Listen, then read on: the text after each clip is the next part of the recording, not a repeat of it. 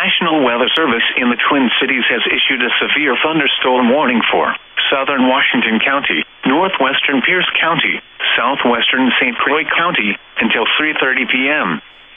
At 2:43 p.m., a severe thunderstorm was located near Cottage Grove, or 12 miles west of River Falls, moving east at 40 miles per hour.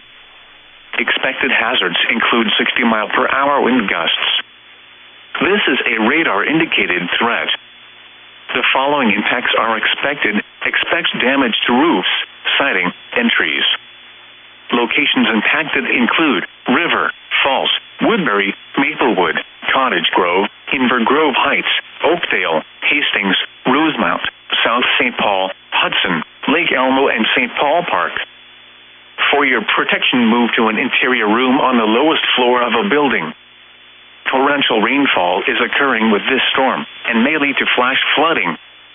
Do not drive your vehicle through flooded roadways.